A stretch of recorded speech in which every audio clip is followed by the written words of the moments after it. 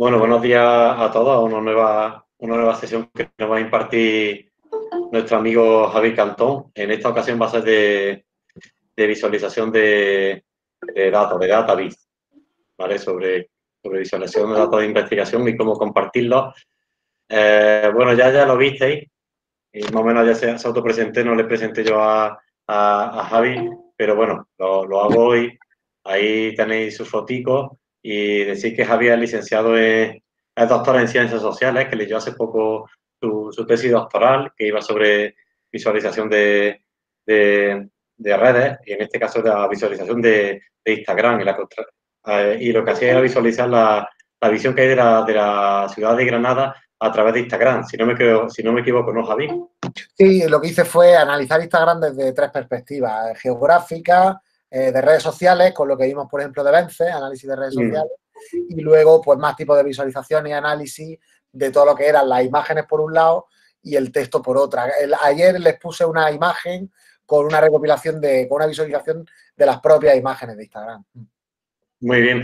Bueno, he puesto por aquí eh, la página, he puesto aquí algunos, algunos enlaces a, los materiales que tiene Javi. Javi tiene una, una página web donde podéis encontrar toda la información de, lo que ha ido, de lo que ha ido haciendo. Aquí la tenéis. ¿vale? Yo recomiendo que le, que le, que le echéis un vistacito porque tiene bastante cosas en acceso abierto. Y yo simplemente me he quedado con esto que me ha gustado mucho, Javi, porque yo creo que es una de, tu, de tus señas de identidad, ¿verdad? Los, estos diagramas que nos dibuja siempre, ¿verdad? Cuando tenemos que hacer algún proyecto o cuando tenemos que hacer eh, cualquier cosa ahí en Media y tenemos aquí muchos ejemplos de estos diagramas que son muy visuales y además que son bastante, bastante, bastante divertidos. Yo creo que si sois usuarios sois, eh, o, metéis habitualmente en Media veréis que tenemos muchos diagramas de estos subidos. Y si vais al despacho Media veréis que está lleno de, diagramas de, este tipo. Cuando podamos ir al despacho.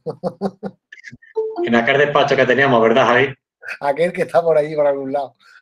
Efectivamente. Bueno, eh, es una curiosidad, pero me, me gusta mucho y quería recomendarlo porque, porque son bastante, bastante divertidos y una forma que tiene de visualizar la información y los proyectos de un solo vistazo, ¿vale? Son bastante intuitivos.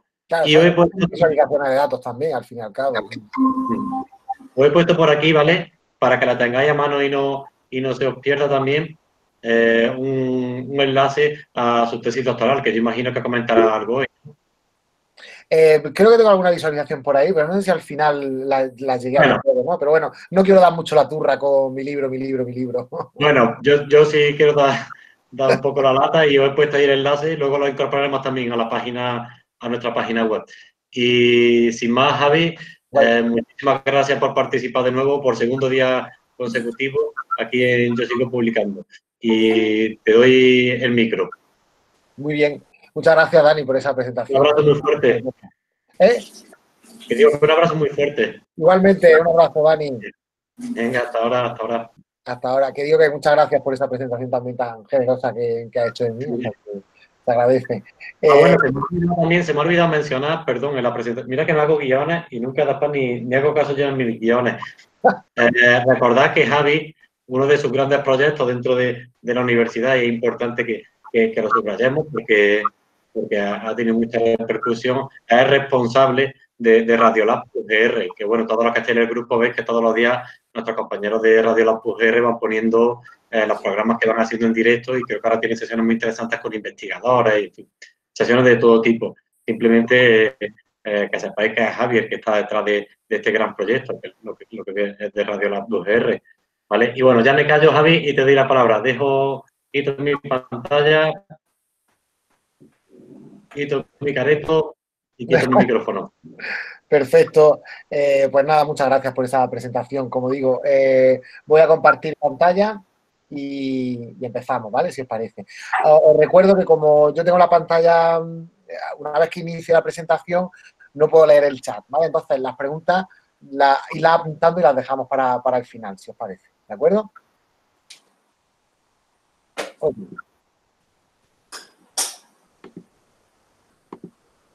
Pues vamos allá. Ahí está el play, aquí, aquí. Muy bien. Em, voy a ir un poco rápido porque quiero enseñaros muchas cosas, pero que esto sirva un poco para que veáis las posibilidades que hay eh, a la hora de visualizar datos, por qué los visualizamos, de qué forma eh, y algunos trucos para hacerlo de manera correcta. Así que, como digo, como tenemos poco tiempo, voy a tratar de ir rápido para ver muchas cosas y luego en las preguntas, bueno, pues profundizamos en alguna historia o luego el que quiera que profundice por su cuenta, etcétera, ¿vale? Pero aquí la idea es mostrar un poco cómo desde esos datos, desde ese global de datos que tenemos, cuando los eh, ordenamos, cuando los manipulamos, eh, es mucho más fácil y obviamente eh, el cerebro humano interpreta la información y, y es capaz de, entender lo que está viendo si se lo presentamos de una manera visual. Y por eso yo quería hablar de esa importancia de las visualizaciones de datos o dataviz, como se suele hablar eh, con ese hashtag, por ejemplo, en Twitter o en otras plataformas, eh, data visualization, como un lenguaje, una forma de comunicarnos que ya usamos desde hace bastante tiempo, nosotros desde que nacemos, en la historia humana desde hace dos tres siglos, y que comprendemos y manejamos con cierta soltura sea como sea, son simplificaciones de los datos, pero necesarias para ver y mostrar lo que es la big picture, ¿no? The big picture, la, gran eh, imagen, la gran foto, mostrar todo el contexto. Y son necesarios para pasar desde los datos hasta el conocimiento. Eh, hay gráficos, por ejemplo, nosotros estamos habituados a interpretar los gráficos en base a determinadas eh, pistas ¿no? que nos da el gráfico. Nosotros podemos ver una imagen como esta, pero no nos dice nada porque nos falta la información clave. Eh, por ejemplo, el eje, en cuyo caso ya sabemos que es algo, la evolución de un fenómeno de manera temporal, y si indicamos, eh, ponemos determinadas ampliaciones, ¿no? descripciones sobre qué es lo que estamos viendo, seríamos capaces. Aún así, a este gráfico, para poder interpretarlo, nos falta el título para poder saber de qué va. Yo normalmente en las charlas juego con, vosotros para que me digáis de qué va eh, este o que tratáis de ponerle un título sin saber de qué va pero ya digo, como no tenemos tiempo, os lo digo yo, estas son rupturas de pareja a lo largo del año en Facebook, eh, a través de cambios de estado, y es una muestra de cómo los datos sirven para conocernos a nosotros mismos y cómo además, como digo, son un lenguaje y uno al que estamos muy acostumbrados. Os voy a contar la historia de un tipo eh, que se llamaba Jon Snow, pero no era este, ¿vale? Eh, Jon Snow y Henry Whitehead, pero no era este Jon Snow, era este Jon Snow, y este Henry Whitehead, que juntos, eh, durante una epidemia de cólera en Londres, a mediados del siglo XIX, eh, hicieron este mapa. Y además lo hicieron porque eh, partían de la base de que tenían un conocimiento muy especializado de esa zona concreta de Londres. entonces ellos fueron pintando encima de un mapa, fueron poniendo una rayita para cada muerte, de tal forma que construyeron un diagrama de barra, pero lo hicieron sobre un mapa. De tal forma que ahí podemos ver eh, como en el punto central de ese mapa hay un pozo que era al final la fuente del, eh, contagio. Es decir, John Snow pudo eh, demostrar aquí una teoría científica y era que el cólera no se transmitía por aire, sino por agua. Y que el foco de la infección era un pozo de agua, una bomba de agua que había en Broad Street y que era la principal fuente de infección. Eh, este mapa además luego se ha analizado con diagramas de Voronoi, midiendo la distancia euclidiana, pero lo, bueno era que incluía un conocimiento a pie de calle, ¿no? a distancia, sabiendo que en determinadas casas se consumía agua eh, de esa bomba de agua y en otras, aunque estuvieran cercanas, no se consumía así. Esta es una de las grandes lecciones que quiero que os quede claro, y es que los datos muchas veces sin, sin contexto no sirven de nada, y una buena visualización de datos no se explica por sí sola, sino que tiene que dar pie a que nosotros podamos explicarla y estar eh, hablando sobre ella durante mucho rato. Eso significa que es una buena visualización. ¿Por qué tenemos que visualizar? Eh, bueno, pues principalmente porque no estamos hechos para leer este tipo de, tablas, no estamos hechos para leer números, somos animales visuales y por tanto esos mismos datos presentados así somos capaces de leerlos, de entenderlos y de interpretarlos mucho mejor. Por tanto, leemos mejor las imágenes, somos más capaces de detectar patrones que es la actividad principal de nuestro cerebro, en las imágenes más que en los números. Y esto tiene que ver con un concepto que no nos dará tiempo a ver hoy, pero que es muy interesante, que es el pensamiento visual. Por tanto, las visualizaciones de datos están hechas para ser leídas porque son un lenguaje, pero son una tecnología relativamente eh, nueva, como digo. ¿Vale? De tal forma que además podemos leer imágenes en movimiento y a partir de ahí podemos interpretar y entender visualizaciones como esta de una manera eh, rápida y efectiva y, además se viralizan eh, rápidamente como esta animación que hicieron sobre el cambio de temperatura eh, en todo el globo hasta el 2017 desde 1850, el, aumento hacia el grado y medio.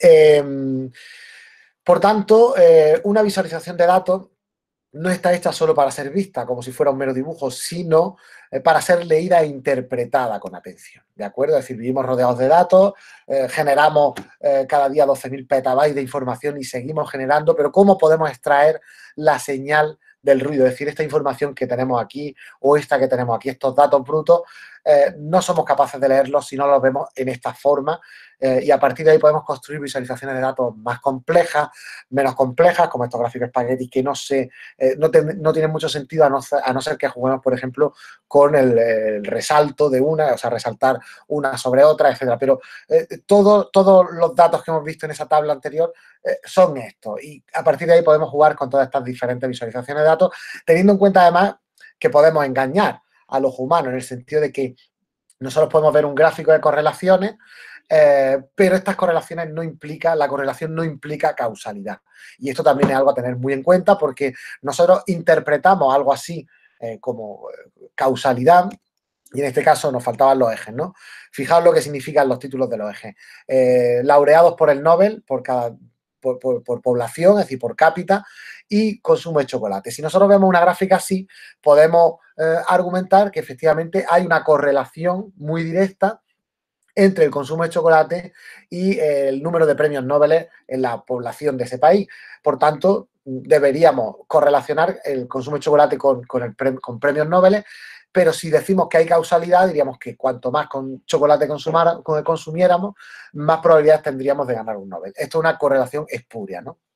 Por tanto, puede ser cierto que una imagen o un gráfico valga más que mil números, pero no siempre es que una imagen valga más que mil palabras. En la mayoría de los casos, gráficos y palabras tienen que estar unidos como forma de argumentar y de sustentar discusiones y debates de manera que se van reforzando mutuamente. Por tanto, errores típicos, una imagen vale más que mil palabras, pero no es suficiente por sí misma, es decir, ese es el error típico, ¿no?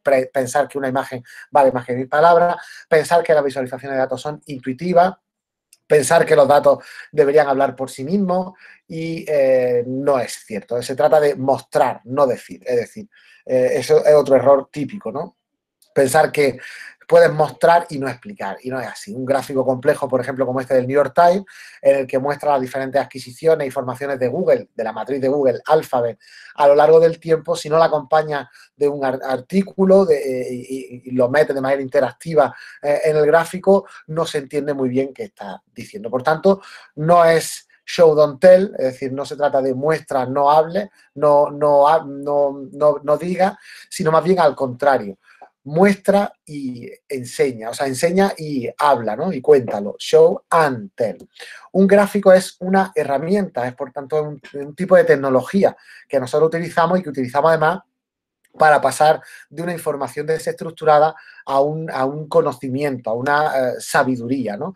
Y dentro de toda esa arquitectura de la información eh, del diseño de la información, de esa rama, de esa disciplina del saber, las visualizaciones, la infografía eh, son una parte, ¿no? Y, ahí podemos hablar tanto de, gráficos figurativos, que serían este tipo de gráficos, de infografías, en las que estamos representando fenómenos reales que han ocurrido, todo ello eh, podemos combinarlo con diferentes visualizaciones de datos, y otros serían los gráficos no figurativos en los que tratamos de eh, mostrar fenómenos que no tienen por qué tener una correspondencia eh, con el mundo material, es decir, que no tienen por qué ser algo tan físico como un avión y el accidente que ha ocurrido, sino algo como el desempleo, ¿no? que es una, eh, un concepto en principio abstracto.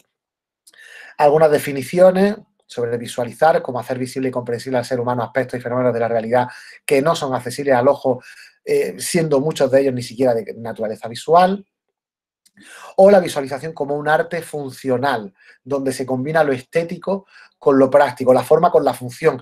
Eh, hay, una, hay, un viejo dicho ¿no? en el diseño funcionalista de la arquitectura del siglo XXI que dice que la forma sigue a la función. Si la visualización es un lenguaje, un arte funcional, la regla principal, la base de su sintaxis, nos dice Alberto Cairo, es que en realidad la forma no sigue a la función.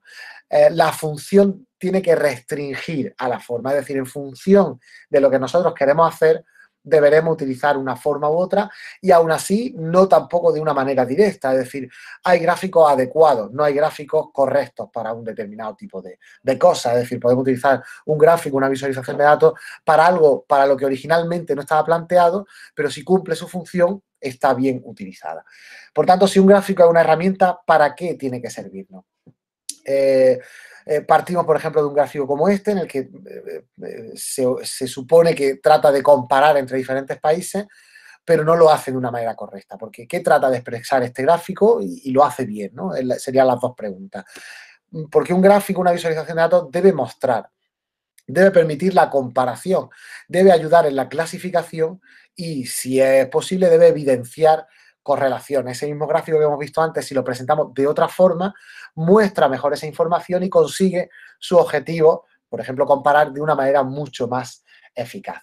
Otro autor decía que the purpose of visualization is insight, not pictures. Es decir, el propósito de una visualización es revelar algo, no es simplemente quedarnos en lo estético de lo bonito. Se trata de ver dentro, de descubrir el patrón, de, descubrir la señal. Y para ello, como digo, cometemos muchos errores. Por ejemplo, eh, hay que plantearse para qué debe servir una presentación. Si, nuestra idea es comparar, hay que tener en cuenta los sesgos de la visión humana y de cómo funciona. Por ejemplo, eh, nosotros podemos ver un gráfico así y lo interpretamos, pero lo interpretamos mal. ¿Por qué?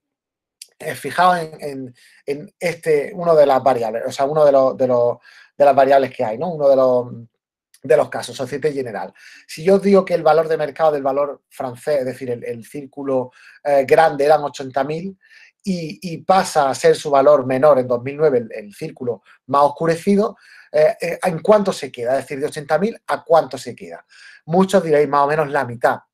Y eso es porque normalmente nosotros no leemos bien la área, leemos bien las distancias, leemos bien la longitud. Es decir, podemos pensar que si tenía 80.000 millones en el círculo grande, el círculo chico, la evolución, son 40.000 millones, cuando no es así, son 26.000. ¿Qué ocurre? Que este gráfico es engañoso, es tramposo para nuestro ojo. Nosotros somos capaces de leerlo mucho mejor así, ¿vale? Eh, es decir, el diseñador busca que el lector compare en forma de círculo, pero como el cerebro humano tiende a obviar la área y ver solo los diámetros, la longitud, eh, no es la forma correcta, es decir, no es la forma más adecuada. Así sería algo más adecuado, incluso así, para representar el gráfico anterior de una manera mucho más legible para nuestra visión.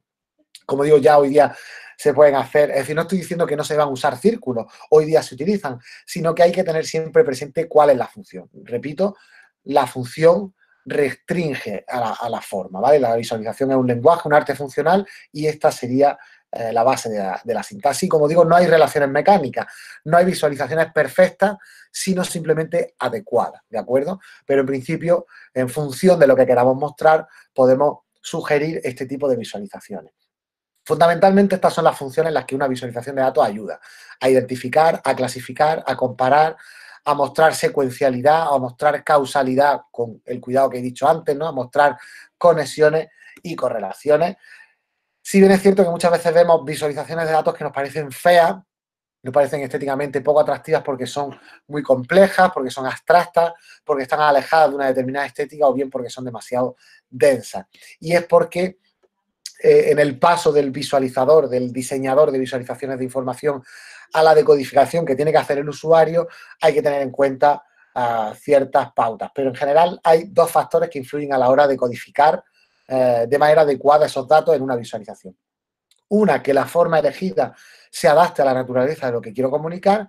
Y dos, que seamos capaces de intuir el grado de conocimiento que esos usuarios van a tener del contenido. No es lo mismo dirigirnos a un, eh, por ejemplo, un póster ¿no? para una comunidad científica o un gráfico para una comunidad científica, no es lo mismo que una visualización de datos que queremos eh, publicar en un medio de comunicación de manera generalista para todo el público. No es para nada lo mismo, ¿no? De tal forma que esa tensión entre lo estético y lo funcional eh, ocurre ¿no? en todos los campos. Es decir, mientras los científicos y los técnicos solemos preferir eh, la complejidad, los periodistas preferirán la inteligibilidad, ¿no? es decir, que sea inteligible y por eso en los años 80 eh, y 90 se popularizaron este tipo de gráficos que combinaban la ilustración con la, visualización de datos y fueron muy criticados por autores como Tufte, eh, que decían que esto era chart junk, ¿no? que era eh, una especie de gráficos basura, porque no respetaban esta ratio que él construyó de rato, ratio datos-tinta, ¿no? de utilizar la menos tinta posible eh, en este caso el de la derecha, utilizar gráficos como el de la derecha porque consumen menos tinta en el sentido de que significan menos fatiga visual para el lector que está viendo ese, esa visualización y conseguimos en realidad la misma lectura. Bueno, no es tan, es decir, Tufte dio fuerza al minimalismo en esta visualización de datos, pero es cierto que hay que encontrar el punto medio. No se trata de ser ni tan minimalistas como los gráficos de la derecha, ni a lo mejor tan expresivos como los de la izquierda, porque es verdad que eh, no todos los elementos de los gráficos son prescindibles porque nos ayudan a leer y a comprenderlo, aunque sea incluso de manera inconsciente.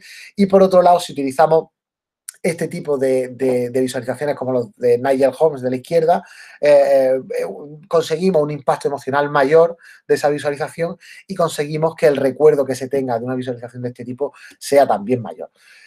Los principales objetivos de cualquier visualización de datos son dos. Explorar y exponer. Es decir, parece que las visualizaciones de datos son como el, el último paso ¿no? a la hora de mostrarle a los demás los resultados de nuestra investigación, pero mm, también sirven para, en el momento en el que tenemos eh, un gran marasmo de datos, empezar a explorarlo y empezar a detectar tendencias y profundizar e seguir, seguir investigando. Es decir, por tanto, no olvidemos que sirve para ambas cosas, ¿vale? Por ejemplo, el primer gráfico que veis ahí de Toys eh, que son de estos del de, el estilo de Nigel Holmes que os decía antes, puede servir para exponer unos datos. Sin embargo, el de la derecha, mucho más simple, puede servir también no tanto para exponer como también para explorar, ¿no? Para ir viendo en cada país, bueno, dónde está mi país lo primero, eh, por qué un país está en este puesto y no en otro, etcétera, etcétera. ¿Por qué? Porque sintetizando lo anterior, una vez alcanzado cierto grado de elegancia y atractivo visual, llega el momento de aumentar la densidad informativa y la multidimensionalidad. Hoy día las herramientas que tenemos para hacer imágenes, visualizaciones de datos, eh, no son eh, puramente estáticas, sino que nos sirven para ver de manera dinámica, eh, de manera compleja, porque ya digo, en, en, la herramienta online se nos permite la exploración y por eso las visualizaciones que se plantean en este tipo son gráficos cebolla, ¿no? Es decir, con, más, con capa y más capas para que cualquier lector, cualquier usuario pueda profundizar. Este tipo de mapas electorales, por ejemplo, son muy típicos para eh, que cada lector, en función de la zona geográfica en la que vive, pueda ir eh, leyendo todos esos gráficos a, a su antojo e irlo explorando, ¿de acuerdo? El diseñador, por tanto, no debe solo sintetizar y presentar, debe crear herramientas para explorar y ayudar a responder preguntas imprevistas. Eh, y además, cuanto menos familiar sea la forma gráfica que escojamos para representar la información, mayor tendrá que ser el grado de redundancia necesario. Eh, en general, una buena visualización recoge unos buenos datos, ya sabéis esa máxima ¿no? de la ciencia de datos, garbage in, garbage out, si lo que le estamos dando es eh, datos basura, la visualización que tengamos va a ser basura también. Por tanto, unos buenos datos, que tengamos un buen concepto, una buena historia de lo que queremos contar, eh, un, buen objetivo, una buena función al final y, que cojamos una forma visual, una metáfora adecuada. Todo ello nos hará que la visualización que hagamos sea exitosa y sea eh, lo más funcional eh, y bella a la vez, ¿no? Por ejemplo, esta, que a mí me gusta mucho, que habla del, cambio de, de, sexo, tanto masculino, de hombre a mujer, como femenino, de mujer a hombre. Eh, bueno, al revés, ¿no? Pero eh, de manera visualmente con metáforas, ¿no? Con, simplemente con, con elementos eh, naturales, ¿no?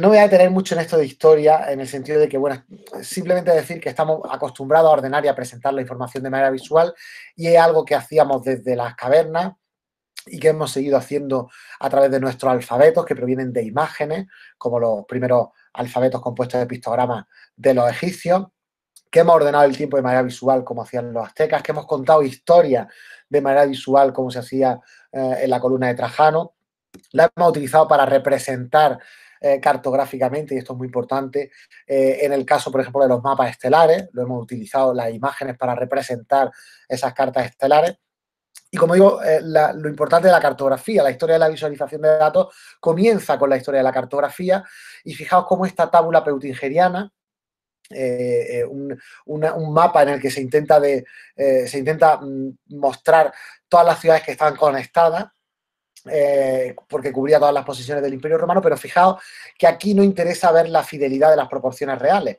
es decir, no son mapas cartográficamente correctos, sino que son diagramas de conexiones como estos, ¿no? Como los mapas de metro, por ejemplo, ¿no? esa tabla peutingeriana, si la representáramos cartográficamente, sería así, ¿no? Eh, para ver las distancias. Es decir, no, no, en un mapa de metro no nos interesa tanto saber la distancia cartográfica exacta que hay de una ciudad a otra, sino más bien saber de qué ciudad, a qué ciudad, por qué ciudades tengo que pasar para llegar de un punto A a un punto B. Pero en general, eh, los mapas como el de Ptolomeo eh, o el mapa un de Mercator, que ya sirve como herramienta de navegación, son formas de representar información, formas de representar datos y fueron las primeras visualizaciones de datos que, utilizábamos, algunas de ellas que ya servían, de hecho, como herramientas de navegación, es decir, como herramientas funcionales para determinado tipo de, de en función de lo que queríamos hacer, bueno, proyectar un mapa a otro. El primero que dio eh, forma también a una idea muy importante fue Da Vinci, porque con sus bocetos él hablaba que las imágenes eran pensamiento también, es decir, las imágenes que los científicos muchas veces creamos, usamos, manipulamos, no son simples aderezos o apoyos visuales de argumentos, son también pensamientos, son una forma de articular pensamiento y de hecho una imagen tiene un gran poder persuasivo también para hablarnos de anatomía, por ejemplo, ¿no? como hacía Da Vinci el árbol de Porfirio, esa clasificación eh, por dicotomía, o el propio árbol de la ciencia, Ramón es una metáfora que hoy día seguimos utilizando para hablar de ciencia, ¿no? Cuando, cuando hablamos de, que la biología es una rama de las ciencias naturales, por ejemplo, ¿no? Estamos haciendo alusión a esta metáfora del eh, árbol de la ciencia de Ramón Llull. Eh, como Copérnico, por ejemplo, a través de un diagrama, estaba haciendo, era un reflejo, pero también una prueba de la idea que él quiere transmitir, ¿no? O como Descartes usaba diagramas para ilustrar la idea del cosmos como una suma de vórtices centrado en, estrellas, ¿no? O como Galileo, antes de inventar el telescopio, eh, lo proyectó en una imagen, ¿no? Lo dibujó. O como Newton hacía sus experimentos ópticos y los diseñaba previamente a partir de imágenes. O como Darwin eh, mostraba ¿no? ese árbol de la evolución eh, con un coral como rama y sus ramas de la especie. Los propios naturalistas del siglo XVIII no tenían cámaras fotográficas y solo podían mostrar eh, al resto de sus eh, compañeros de, científicos a través de dibujos, ¿no? a través de imágenes, eh, para mostrar sus descubrimientos. Y, esto implica también que cuando tuvimos herramientas como el telescopio o el microscopio, fuimos capaces de dar origen a imágenes cada vez más precisas, ¿no? como estas micrografías de una mosca o de una hormiga los dibujos que hacía del tejido nervioso Ramón y Cajal eran ciencia también, eran formas de enseñar la ciencia, o este árbol de la ciencia de Diderot, y d'Alembert, aquí en forma de diagrama, hablaba también de ese árbol de la ciencia de Ramón Llull. O como en la revolución industrial se construían máquinas en torno, había que presentar para esa patente un diagrama ¿no? Eh, completo, ¿no? ¿Qué más? Y bueno, había pioneros en la visualización de datos. Eh, eh, en esta época es cuando nacen las primeras visualizaciones de datos, esas formas a las que estamos acostumbrados. Eh, os dejaré, como luego tenéis la presentación, podéis indagar en esa página web para ver grandes pioneros y pioneras como Florence Nightingale y cómo, bueno, a partir del año 1786, William Playfair empieza a jugar con esta forma de representar datos y ya estamos hoy día acostumbrados a ver este tipo de gráficos de línea. Pero empezaron aquí, ¿no? Con William Playfair o los gráficos de barras, ¿no? Eh, eh, hechos a mano eh, y dentro de un atlas. Es muy curioso también que usara la palabra atlas, comercial y político, William Playfair, es curioso que utilizara atlas porque él lo que hacía era dibujar cartográficamente en base a dos ejes. Lo que pasa es que eh, cambió la longitud y la latitud por las cantidades y los países, por ejemplo, en este caso, o por los años y las cantidades en este otro, ¿no? Pero la idea es que él eh, efectivamente lo que hizo fue un atlas, ¿no? Y, a partir de ahí descubrió una forma de eh, visualizar datos que hemos seguido utilizando hasta ahora, ¿no? Como esta gráfica, además, combinando barra y línea, en fin, esto, eh, Joseph Priestley, por ejemplo, hacía estas cartografías temporales. Eh, y luego también hay un, gran visualizador que fue Minard, que hacía estos flujos, son formas visuales, visualizaciones de datos que seguimos utilizando hoy día. O la más famosa que tiene, que era esta, ¿no? de la, campaña de Napoleón eh, hacia Francia, eh, desde Francia hasta, Rusia, ¿no? Y ya digo, no tenemos tiempo, no voy a detener mucho. O las flores de Florence Nightingale para hablar de las causas de mortalidad del ejército británico. Eh, o el mapa que hemos visto antes de Jon Snow. Y en definitiva, desde entonces seguimos siendo y somos una cultura cada vez más visual. La imagen ha estado supeditada al texto, ha estado supeditada a, bueno, a formas de usar imágenes para vender productos también o por ejemplo para reproducir patrones de costura. Hoy día, por ejemplo, se comparten patrones, por ejemplo, para hacer mascarillas y se hace de manera visual con una imagen. Se ha utilizado para hacer propaganda también, o en ciencia como el diagrama de Feynman, ¿no? Para eh, eh, representar el comportamiento de partículas subatómicas o para mostrar la doble hélice de ADN. Eh, en el paper original, por ejemplo, de Watson y Crick, está así, con este dibujo. Y luego es muy curioso, por ejemplo, cuando en el año 73 se pensó en lanzar eh, la Pioneer, se le dijo a Carl Sagan que diseñara eh, este mensaje en la botella interestelar eh, y, entonces Carl Sagan diseñó esta imagen, ¿no? Para intentar explicarle a un extraterrestre cómo somos la raza humana y dónde estamos, ¿no? Es un poco parecido a la película esta, no sé si la habéis visto, la de la llegada, en la que cuando llega unos extraterrestres tratamos de comunicarnos con ellos y primariamente lo hacemos a través de imágenes. Hoy día hay un auge del lenguaje del cómic, de la novela gráfica para adultos, Frank Miller, Alan Moore, etcétera, el arte urbano del graffiti, que nació vinculado al espíritu de protesta con el rap y el hip hop. Y en general, si alguna vez habéis estado en el IKEA, las instrucciones, por ejemplo, no tienen una sola palabra, no tienen eh, simplemente diagramas esquemáticos de montaje a través de imágenes. Eh, algunos, eh, la mayoría de los que hay por aquí son bastante jóvenes, no conocerán este tipo de esta misma lo entenderán mucho. Esto era el MS2. Antes en informática tecleábamos mm, comandos, picábamos, no, no tanto picar código, tecleábamos comandos para movernos por el ordenador, pero eh, empezaron a popularizarse las interfaces gráficas, como esta de la Lisa o después Windows. Eh, yo empecé con Windows 3.1, fijaos qué viejo soy ya. Y a partir de aquí, como Windows se ha desarrollado, Windows XP, que ha sido el sistema operativo más popular y más instalado en todos los ordenadores, y como cada vez tiene un aspecto, esa interfaz más visual, se va acercando al mundo de las tablets como hoy día vivimos eh, dentro de una iconosfera y tenemos inventos tan visuales y tan potentes como los emojis, ¿no? que inventaron los japoneses, eh, y en general como las aplicaciones de fotografía nos movemos cada vez en, una, en, un, en, una, en un fondo, en, en, unas metáforas cada vez más visuales, de tal forma que hoy día eh, tenemos eh, memes visuales, es decir, tenemos ideas visuales que se transmiten viralmente y que además nos dan una clave de la popularidad de determinados fenómenos, ¿no? Como eh, vivimos en una era de los memes, ¿no? Es decir, medimos la importancia de los hechos por la clase y la cantidad de memes que se generan. Como digo, no, me puedo detener mucho, no da tiempo ¿no? A, entender eh, las claves de la percepción, de cómo eh, vemos como vemos y cómo procesamos imágenes mucho más rápido que, que, leemos texto, es decir, porque, bueno, es decir, las imágenes entran por, por nuestro ojo, es decir, el ojo sabéis cómo funciona un poco, ¿no? La, cómo captamos imágenes, cómo la luz entra a través de nuestro ojo, eh, cómo eh, a través del músculo, ¿no? Como la, lente, la retina, eh, se moldea, es un músculo que se moldea para conseguir que, se proyecte en el fondo de esa retina la señal lumínica y a partir de ahí el nervio óptico lo transforma en señal nerviosa y nuestro cerebro reconstruye esa imagen. Es decir, el final es que nuestro cerebro reconstruye e interpreta las señales nerviosas que recibe desde nuestro ojo. Eh, dicho de otra forma, mm, mucho más importante, no vemos con los ojos, sino con el cerebro. Es decir, nuestro principal órgano de visión es el cerebro. Cuando yo suelo preguntar al alumnado, ¿no? al estudiantado en mis clases, eh, ¿qué veis en esta, en esta imagen? Normalmente decimos una cara. Pero en realidad eh, no hay una cara, hay tres círculos y una línea. Pero que nosotros, nuestro cerebro interpreta lee el patrón dentro de, eso y dice que ahí hay una cara. Esto es lo que se conoce como apofenia, es decir, eh, ver patrones, conexiones en sucesos aleatorios o datos sin sentido. Y algo que no ocurre muy a menudo. Eh, hay apofenias visuales, hay apofenias, por ejemplo, acústicas, el hecho de estar en la ducha y creer que eh, has escuchado tu teléfono sonando y no ha sonado en ningún momento. Esto es una apofenia de tipo acústico.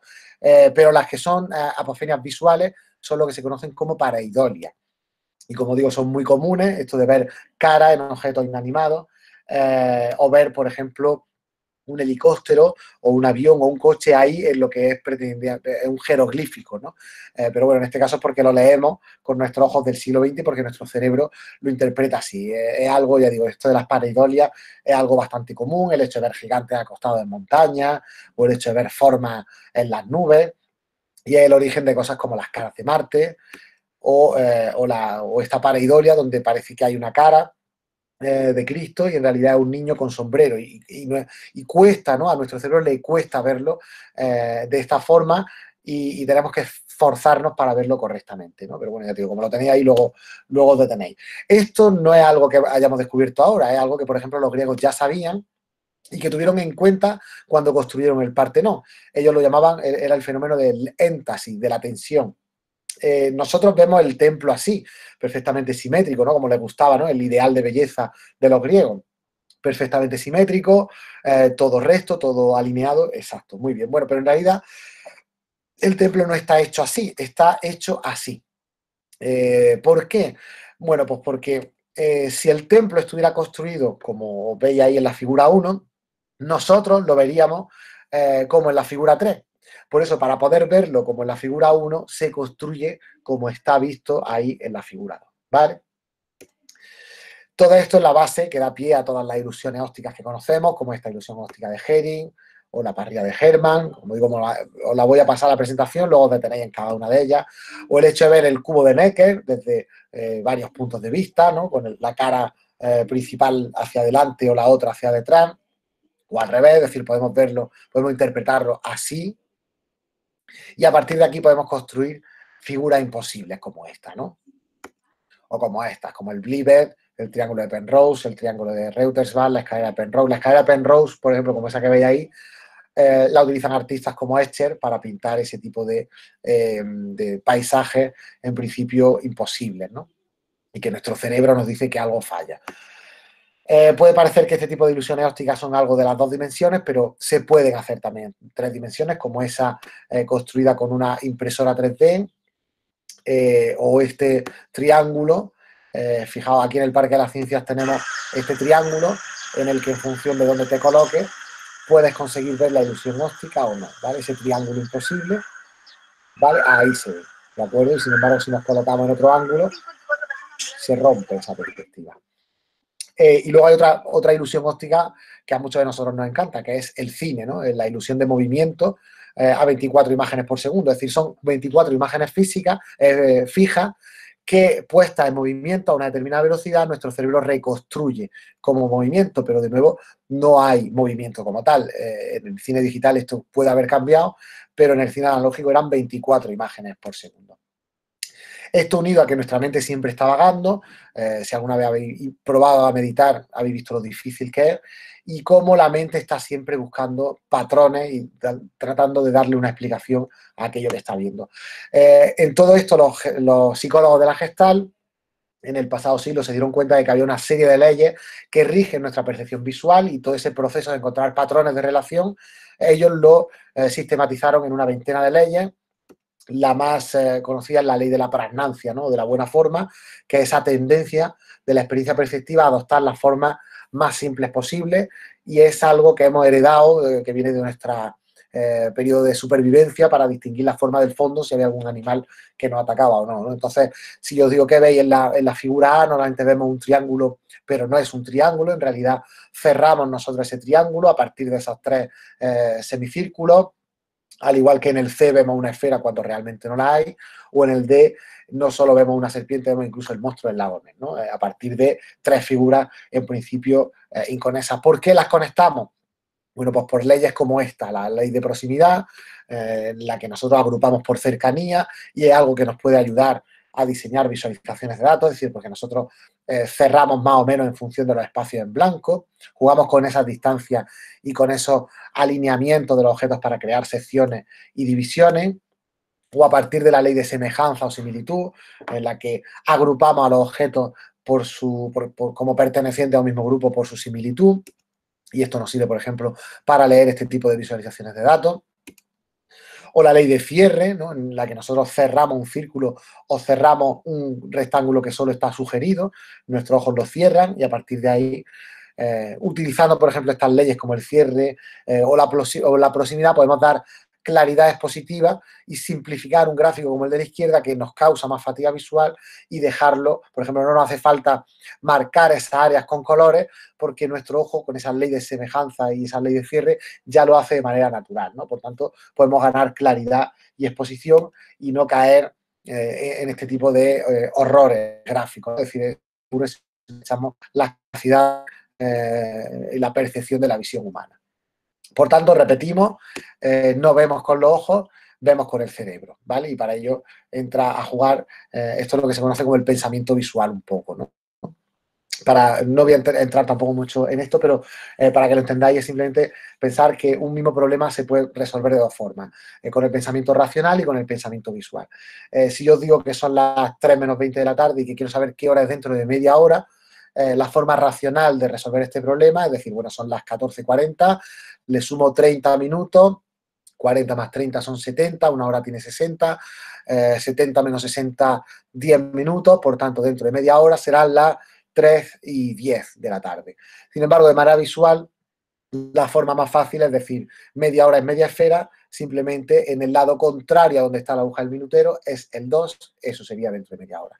Es un poco para que veáis cómo funciona el tema del pensamiento visual, pero como digo, no voy a detener mucho. 10 consejos claves para una eficaz visualización de datos. Ya sabéis que nos gustan las listas, vamos a hacer una lista. Uno, piensa siempre en el público objetivo, es algo que hemos dicho antes, ¿no? Eh, ¿Quién es ese público? ¿Cómo es? ¿Y qué preguntas crees que ese público se va a plantear? Y eso tenemos que tenerlo siempre en mente a la hora de diseñar una visualización de datos. Dos, elige el gráfico adecuado. No todos los gráficos sirven para todo. Cada uno de los gráficos está pensado para mostrar un tipo de información de forma eficaz en función de lo que queremos hacer. Y como digo, no hay una relación mecánica, no hay visualizaciones perfectas, sino adecuadas. ¿Vale? La función restringe la forma, es decir, la forma que aporta la gráfica va en función de lo que yo quiero hacer con los datos, ¿vale? Hay una página, por ejemplo, que podéis ver todo el catálogo de tipos diferentes de visualización de datos que tenemos disponibles y estos son solo algunos de ellos, ¿no? Y hay un montón de tipos diferentes. Entrar en esa página, Dataviz Catálogo, y ahí podéis ver todo ese tipo de visualizaciones diferentes. Resaltar la información más importante. ¿Por qué? Porque al diseñar una visualización debemos facilitar la lectura con esos principios del color, del tamaño de la fuente, que permitan dirigir la atención a los puntos más importantes de la información. Es decir, esto es una regla en el periodismo, ¿no? Por eso los titulares, los subtitulares, los subtítulos, la entradilla está, está diseñado así. ¿Por qué? Porque primero va a leer esto, después te vas a ir a ese sitio, después vas a leer esto de acá y por último esto de aquí arriba. Normalmente nuestra, eh, nuestros ojos van barriendo y podemos llamar la atención sobre el lector utilizando el tamaño, por ejemplo, el color, etcétera. Usar las tablas lo menos posible. Solo deben usarse cuando necesitamos mostrar valores precisos y en principio se está haciendo una visualización de datos, no deberían tener por qué mostrar la tabla de donde viene esa visualización. Muy importante proporcionar contexto a los datos. Alinear los gráficos a los datos correctamente.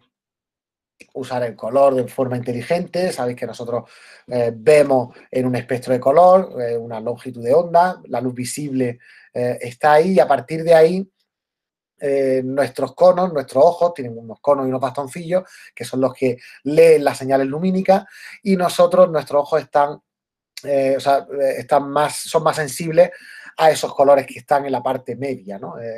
tenemos muchos más conos sensibles a las ondas medias que a las ondas cortas y largas.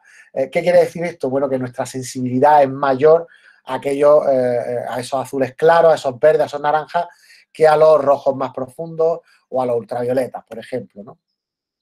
Somos más sensibles a ese naranja sobre fondo negro que al que está sobre el fondo azul, porque el azul estimula un único tipo de cono y el naranja estimula muchos más, ¿vale? En fin, en esto hay muchos trucos y además con la edad perdemos sensibilidad a tonos azules y violetas, pero en general eh, los colores puros llaman nuestra atención y los apagados y pastel no lo hacen. Mejor, eh, normalmente es mejor usar una paleta monocromática basada en tonos de gris o azul apagado, por ejemplo, y un rojo más eh, puro para llamar la atención. Por ejemplo, aquí, fijaos cómo eh, en el gráfico de la derecha, el rojo abajo de los contenedores, eh, podemos identificar más fácil el contenedor a lo largo del, del paso, ¿no?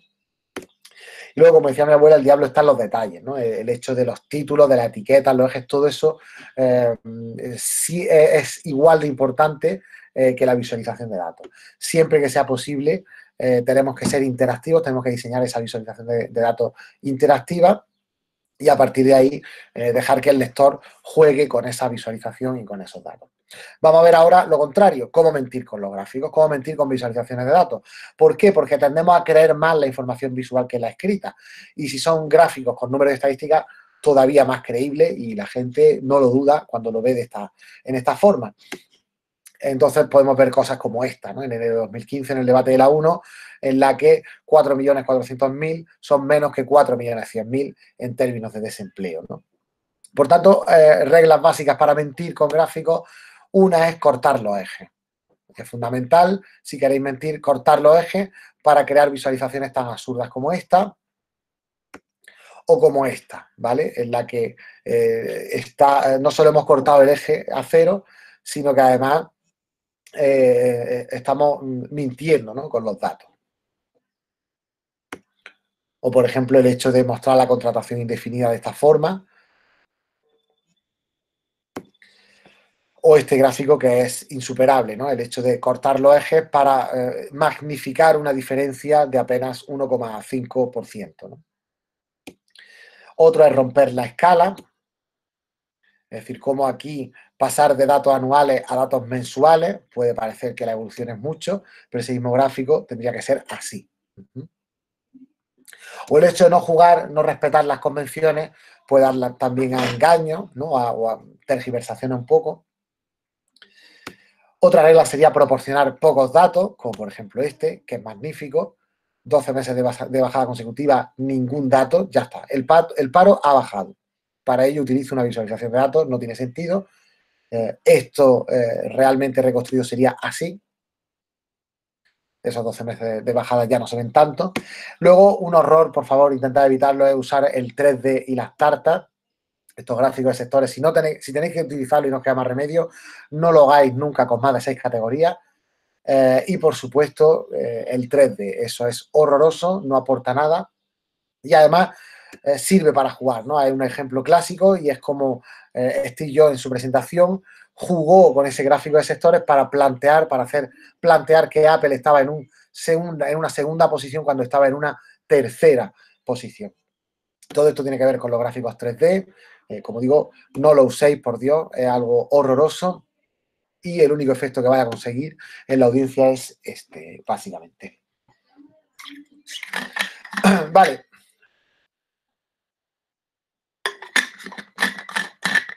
Voy a mostrar algunos, algunas visualizaciones de datos, un showcase de visualizaciones de datos para que veáis cómo en función de, del tipo de datos que queremos representar, eh, bueno, pues tenemos diferentes tipos de visualizaciones de datos disponibles. Unos son, eh, si lo que queremos hacer es estructura jerárquica, utilizaremos la metáfora del árbol, ¿no? que hemos visto ya el árbol de la ciencia, el árbol de Porfirio, eh, o que llevamos utilizando, por ejemplo, para representar información de tipo genealógico, el árbol genealógico. ¿no? Eh, por ejemplo, como este, eh, este que hizo Atanasio Kircher con forma de olivo para representar eh, la genealogía del, Papa, ¿no? como nace desde Roma. Ya hemos visto algunos de estos ejemplos, por eso digo tampoco me voy a detener, pero la metáfora del árbol sigue estando ahí, o el árbol genealógico del hombre, ¿no? como lo hizo Haeckel, o el árbol paleontológico de los vertebrados. Hay un tipo de árbol que ahora se está utilizando mucho para el tema de Big Data, por ejemplo, que son los dendrogramas, y todo lo que tiene que ver con análisis de clusters y también los tree maps, ¿no? Es decir, es una forma de cambiar, se llaman tree maps, de hecho, por eso, ¿no? Mapas de árbol, porque tratan de mostrar jerarquía en todo esto, ¿no? Y por eso podemos utilizar, este, por ejemplo, lo hicimos cuando mostramos eh, como em, eh, el ranking bibliométrico de investigadores en la OGR en Google Scholar, un trabajo que hice con Dani, y utilizando estos tree maps para ver por jerarquía por rama, ciencia biológica, de la salud, etcétera, y dentro de la rama todos los diferentes departamentos de los que formaban parte de esa rama. Se puede utilizar, por ejemplo, para visualizar esto que pues, que hace de organismos literarios, es decir, una visualización de la primera parte del eh, On the Road de Jack Kerouac. Es decir, no se trata solo de mostrar datos muy jerarquizados numéricos, también se pueden mostrar datos eh, cualitativos eh, con forma orgánica, ¿no? como, como estos organismos literarios. Aquí hizo lo mismo, pues sabes, con el origen de la especie. O podemos mostrar este esquema árbol sobre los orígenes y desarrollo del heavy metal o de los diferentes géneros del jazz, o el árbol de cantes flamenco. ¿no? Todo lo que sea muy jerarquizado podemos utilizar este tipo de, tree maps. O este tipo de diagramas ¿no? de, la evolución de, las religiones. Si por el contrario lo que tenemos son estructuras relacionales, estaremos hablando de redes. Eh, y es algo que nos encanta, ¿no? Relacionar conceptos, ideas, unirlas, es algo que también tiene que ver con los sketch notes que ha mostrado, ha mostrado Dani al principio y que ahora creo que también veremos. Y todo esto parte del problema de los puentes de Königsberg que planteó Euler, no sé si habló también Vence, pero al final es todo lo que tiene que ver con teoría de grafos, ¿no? Y de ver cómo están conectados unos conceptos o unos usuarios con otros, unos con otros, y, y cómo al final eh, existen esos seis grados de separación, ¿no? Que sabemos entre uno y otro. Pero al final se trata de mostrar la relación de unos agentes con otros, de unos nodos con otros, y esto, ya digo, eh, fue precisamente lo que mostró Venceslao el otro día eh, en Gephi, ¿no? Es decir, cómo utilizar este tipo, cómo desplegar estas visualizaciones, esta información, verla en forma de redes. No tiene por qué tener siempre esta forma de red o de grafo, puede tener esta forma también eh, de anillo o los diagramas de Sankey, por ejemplo, también es una forma de mostrar relaciones o a partir de, por ejemplo, 150 líneas de código de R, mostrar eh, algo como las amistades de Facebook en el mundo, ¿no? es decir, las conexiones entre gente en el, mundo. Son relativamente fáciles de hacer y ya habéis visto eh, programas como Gephi para, hacerlo. Si por el contrario estamos interesados en mostrar estructuras temporales, tiraremos de calendario, ¿no? Estamos hablando de calendario, de flujos, de tiempo. Wikipedia, por ejemplo, lo hace, ¿no? Si entráis en la entrada de Disparper podemos ver cómo han ido cambiando sus respectivos componentes a lo largo del tiempo y en función del instrumento que toca cada uno, ¿no? Pero bueno, si alguna vez habéis presentado un proyecto, estáis acostumbrados a manejaros con estos diagramas de Gantt. Y si por el contrario lo que queremos es mostrar el flujo de trabajo de algo, eh, por ejemplo, el diseño de una página web, utilizaremos diagramas de este tipo o diagramas de flujo como el que hizo eh, Sheldon Cooper para hacerse amigo de Kripke, bueno, como diseñó un diagrama de flujo para ir actuando en función de lo que, de lo que iba ocurriendo y cómo entraba en un bucle, gracias a, a pudo salir de ese bucle y hacerse amigo finalmente, empezar una amistad que era su objetivo con eh, Kripke. Eh, o, por ejemplo, podemos ver un diagrama de flujo del capítulo de Black Mirror, Bandersnatch, como en función de nuestras elecciones, eh, íbamos moviéndonos por esa historia que en realidad estaba diseñada para finalmente llegar a un mismo fin. Pero como digo, podemos mostrar estructuras temporales de formas mucho más artísticas, como este Last Clock de Ángel Lega eh, y Cooper, eh, que mostraba el paso del tiempo con la forma de un reloj, iba tomando imágenes a lo largo de segundos, luego reflejaba a lo largo de minutos y por último a lo largo de horas. Eh, y este reloj construido visualmente eh, se mostraba también usando esa misma metáfora de un reloj. Eh, el de antes, este de antes era Estocolmo, un sitio de Estocolmo y este es un sitio concreto de Tokio. Luego podemos ver también determinados flujos como estos ríos temáticos o esto que es como una especie de flujo, serían, el equivalente estático serían las barras apiladas, ¿no? Es decir, en qué gastan eh, el tiempo, en este caso los americanos, era este, este, los norteamericanos, era este, esta visualización. Entonces, si acumulamos todas las barras apiladas a lo largo del tiempo, nos sale algo como, como estos flujos temáticos que estáis viendo aquí, como estos ríos, ¿no? O este otro. O este otro que tendría que ver con el que hemos visto antes. No me detengo mucho, luego podéis verlos tranquilamente en el PDF que os pasaremos. La cartografía del tiempo que hemos visto al principio serían también una forma de mostrar el tiempo. Y al final, obviamente, esta gráfica de Playfair, este gráfico de línea, igualmente nos habla del paso del, tiempo, ¿no? o, la que hemos visto de minar.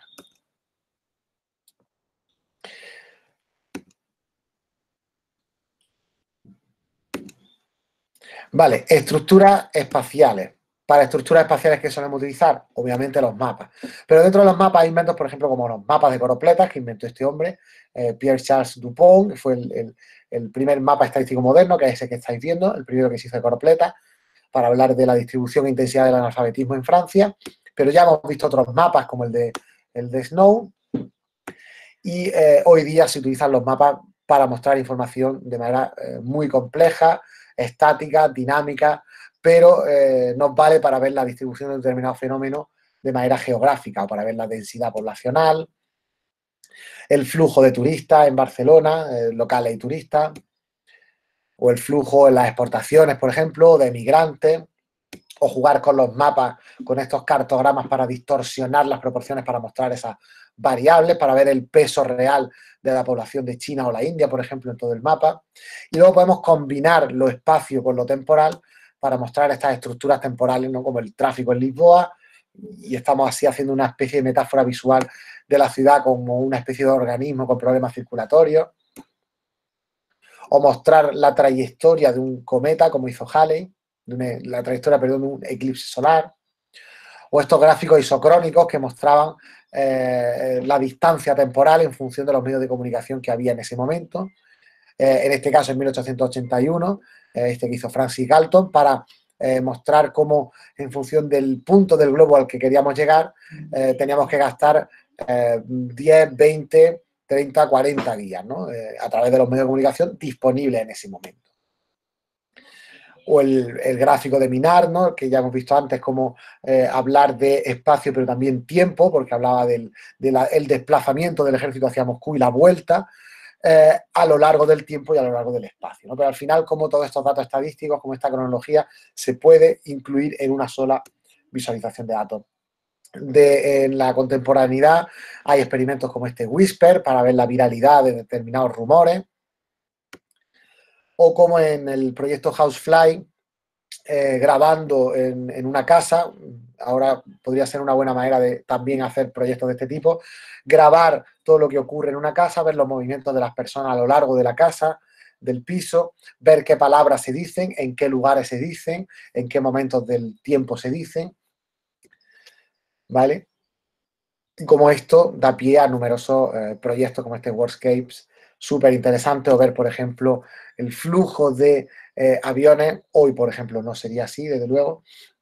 Eh, hay una página web para verlo en directo.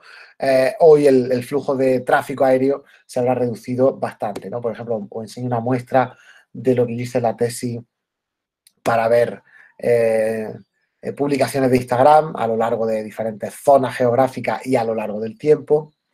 Como digo, ya estamos muy habituados a ver muchas de este tipo de visualizaciones de datos. Los de estructuras textuales quizá no tanto, eh, pero bueno, se puede visualizar, por ejemplo, los cambios en las ediciones del origen de las especies, se puede jugar para ver el uso de idiomas de manera cartográfica, o por ejemplo, visualizar Twitter a tiempo real sobre qué se está hablando, o mapear eh, esa correspondencia entre los primeros investigadores modernos, es decir, estamos, eh, estamos representando texto de manera visual también. Es muy típico analizar el lenguaje con el tema de los discursos inaugurales presidenciales, ver qué palabras se han dicho más, las nubes de palabras, en qué momento, etcétera, etcétera. No sé si conocéis también el Ngram Viewer de, Google, que te dice la aparición de determinados vocablos en todos los eh, libros que tiene em, digitalizados ya Google. Podemos ver eh, los passwords, las contraseñas más utilizadas eh, por popularidad espero que la vuestra no esté ahí. Y luego los sketch notes, que es algo que os mostraba antes Dani. Bueno, como a partir de una charla en directo eh, se puede crear,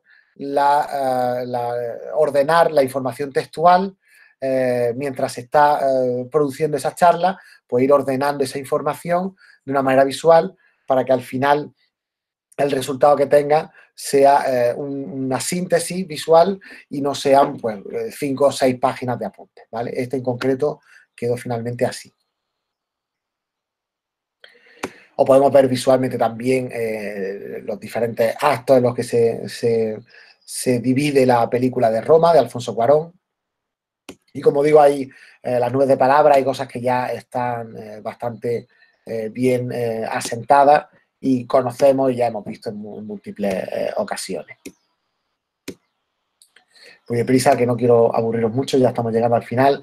Hay, por ejemplo, herramientas como phrase.net, que esquematiza relaciones entre palabras de un texto, o WordTree, que lo que nos sirve es para eh, buscar visualmente eh, eh, texto no estructurado en principio, ¿vale?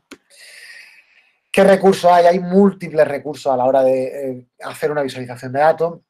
Aquí lo importante es no narcotizarnos con la técnica, es decir, no con la herramienta, no no hipnotizarnos con la herramienta, sino tener claro qué queremos hacer y a partir de ahí utilizar la herramienta, porque como digo, hay eh, mogollón de herramientas para visualizar datos y hay algunas mejores, otras peores, cada uno en función de, hay algunas más limitadas, otras menos, cada uno en función de lo que quiera hacer, bueno, pues puede simplemente con Excel hacer cosas muy completas, ya os lo digo desde ya, eh, el 80% de las visualizaciones de datos son gráficos de línea y gráficos de barra y con eso tenemos bastante, realmente no tenemos por qué complicarnos mucho más, pero es cierto que tenemos todo un vocabulario visual a nuestro alcance y podemos eh, tratar de, utilizarlo. Eh, como digo, en función de qué, escoger uno u otro, pero el catálogo de visualización de datos es brutal y, eh, por ejemplo, esa página que os decía antes, el Database Catálogo,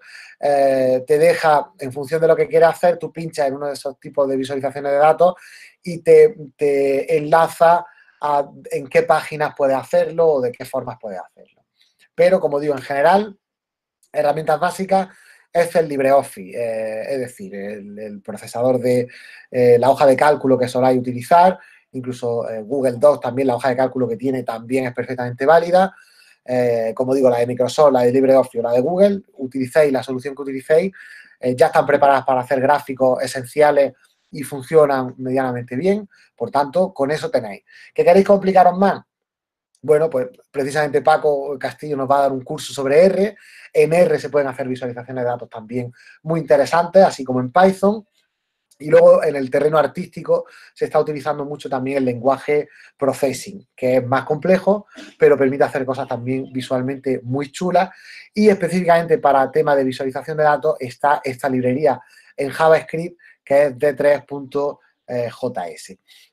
Para los que no os queréis meter mucho en estos temas de, tipo de programación, pero queréis hacer cosas eh, chulas, avanzadas, interactivas, eh, publicables eh, web, yo recomiendo, yo la que utilizo, Tableau que además para los miembros de su comunidad universitaria eh, tiene cuenta gratuita, es decir, simplemente tenéis que pedir una llave de activación de producto em, eh, con vuestra cuenta corporativa de OGR, normalmente revisan que es correcta la cuenta y que es eh, educativa y os dan acceso para un año, luego renovable, y no hay problema, o sea, podéis utilizarlo sin problema, acceso a, la mayoría de funcionalidades que tiene Tableau. Ahí tenéis la dirección y con eso podéis utilizar Tableau sin problema, que como digo permite hacer visualizaciones muy complejas y hacer lo que ahora se lleva tanto, ¿no? los dashboards, es decir, los escritorios donde puedes eh, mostrar diferentes visualizaciones de datos de un mismo dataset, pero jugar con ellos, seleccionar, a partir de que tú hagas una selección en,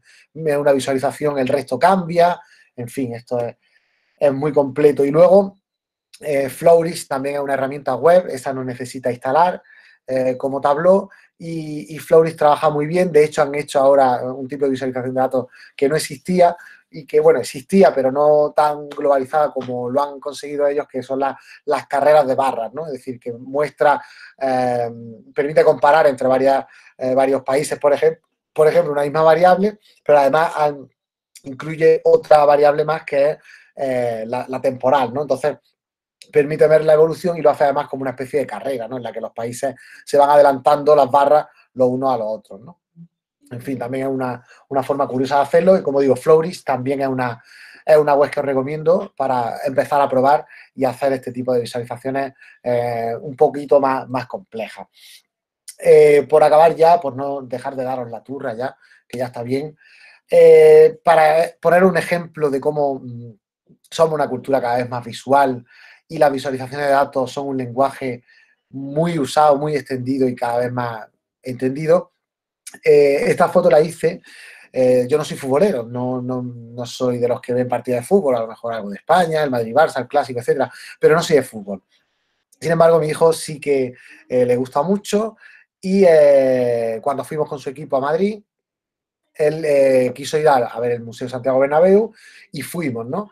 Y dentro de ese Museo Santiago Bernabéu había esta visualización de datos, esto es una pared entera, donde se mostraban los tweets que se ponían usando determinado tipo de hashtag, sobre todo lo relacionado con eh, el Real Madrid, ¿no?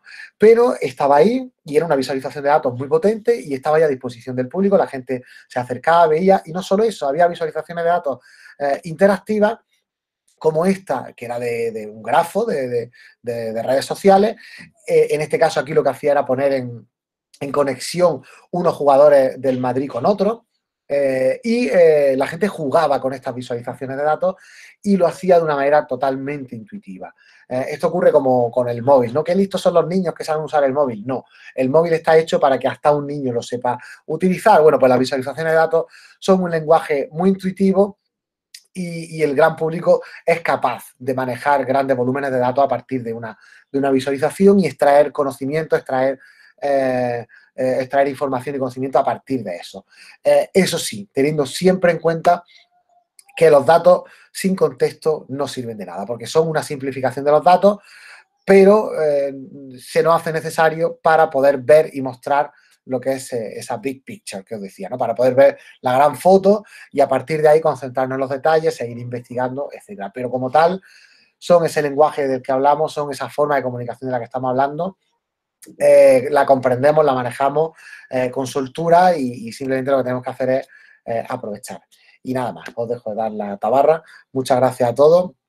Como ya ha dicho Dani, ahí tenéis mis datos de contacto, la página web, en fin, no, hay problema ninguno. Voy a, parar la, pantalla. Gracias, Javi.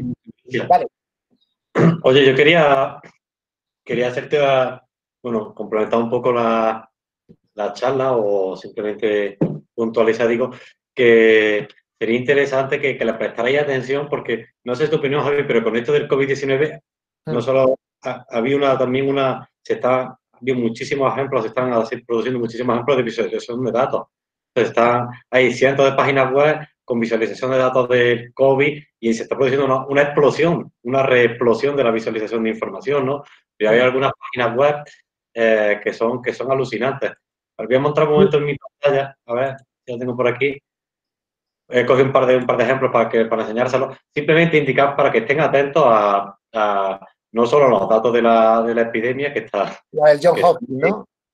Vale, pero bueno, fijaros, he buscado algunos y he, buscado esta página, esta página web de, de, de, que una página web que seguro que tú conoces, que es Information is Beautiful, Sí.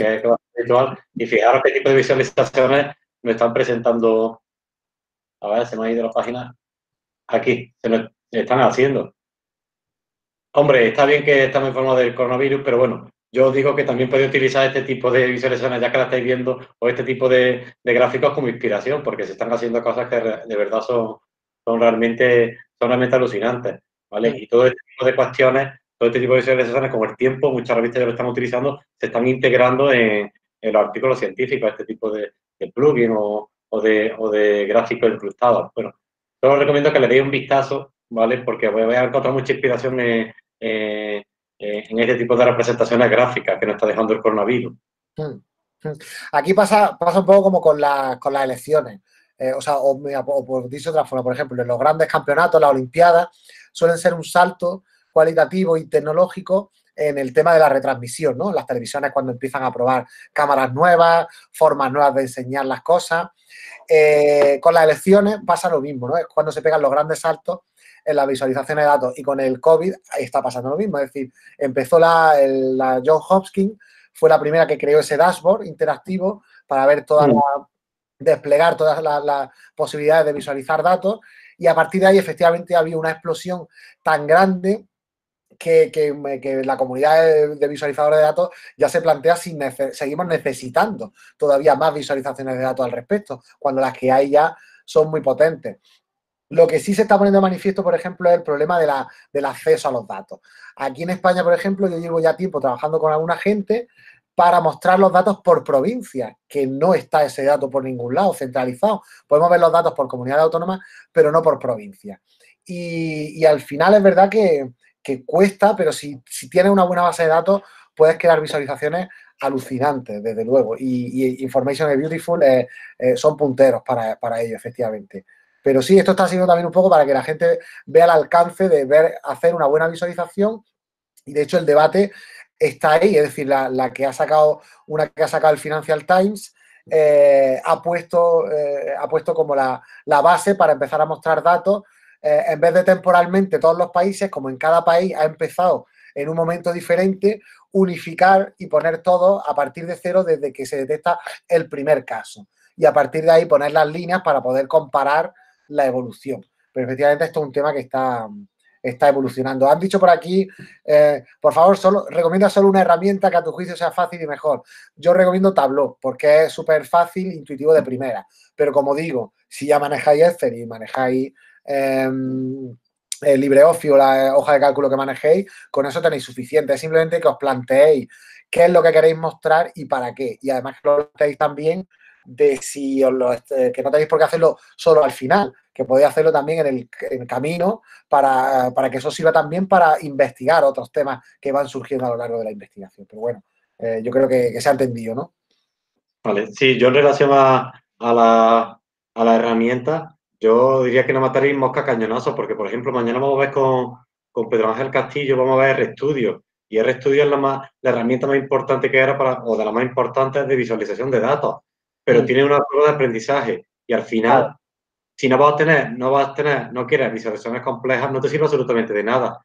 Yo he publicado bastante, muchísimo, y la mayor parte de los gráficos que he hecho han sido a través de, de Excel, a través de, Microsoft Excel, y sobre todo las últimas versiones son potentísimas, como bien conoce Javi, la cantidad de cosas que hace, que hace son, capaz de hacer son, son, son importantes y muy, y muy interesantes. También como ha comentado Javi, eh, Google, que las hojas de cálculo de Google también tiene visualizaciones muy interesantes y visualizaciones dinámicas que podemos incrustar en la página.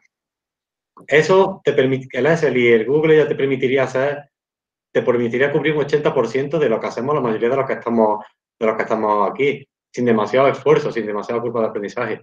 Y evidentemente la gran herramienta es, es, RStudio o las plataformas estas tipo Tableau que utiliza Javi, yo no lo utilizo tanto porque lo, utilizo más, más, otras, pero bueno, también son, son interesantes. Tableau es una evolución de, de, Excel. En las tablas dinámicas de Excel, eso es Tableau, no es otra cosa realmente. Sí, si queréis un día puedo enseñar eh, el Excel avanzado, cómo hacer gráficos en Excel avanzado. O sea que, y, está bastante chulo y bastante, bastante práctico para hacer muchas cosas. Yo lo puedo ilustrar con ejemplos reales de, de, de gráficos que he incrustado en mi artículo y que mucha gente se ha sorprendido que estuviera hecho en Excel. Porque yo muchas veces lo, construyo en ese, los gráficos, pero después siempre me los llevo a, por ejemplo, a PowerPoint, un editor de imágenes, y le voy añadiendo eh, información complementaria, como figuritas, gráficos, le voy añadiendo letreros, en fin, muchas cositas que no solo el Excel, sino que voy complementando con, con otros programas. En realidad, muchos, muchos diseñadores lo que hacen es, eh, se llevan la visualización a Illustrator que es propiamente de diseño. Y a partir de ahí, las que veis en periódicos están hechas en Illustrator y cosas de, edición gráfica. Yo lo, sí, yo me lo llevo incluso, fíjate, yo muchas veces eh, hay soluciones que son tan fáciles y que las hacemos tan complejas. Yo lo edito el gráfico, hago una, una captura de pantalla en alta definición con una buena resolución, me la llevo a PowerPoint y allí le pongo marco puntitos, pongo letreritos y vuelvo a sacar la pantalla en alta resolución y me quedan absolutamente geniales. Perfecto, claro, sí es lo que os decía antes, o sea, los detalles, no es solo la imagen, el hecho de cómo la acompañe, el título, el subtítulo, la leyenda, el hecho de que tú a un gráfico señales aquí en un punto que ocurre algo. Todo eso está enriqueciendo la visualización y lo puedes hacer con un, con un programa, como tú dices, como PowerPoint o Illustrator, o como dice ahí muy bien apunta el Paquito Chu, eh, Inkscape, ¿no? Mm.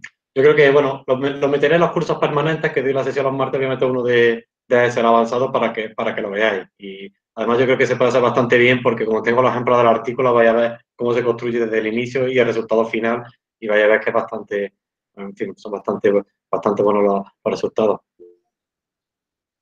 Más cosas y más preguntillas por ahí. Bueno, pues si no hay más preguntas, bueno, ya sabéis que Javi está ah, en el Telegram a tope y yo creo que cualquier pregunta que hagáis por allí os, va a responder. Pues nada, nos despedimos y mañana tenemos el curso de, de RStudio.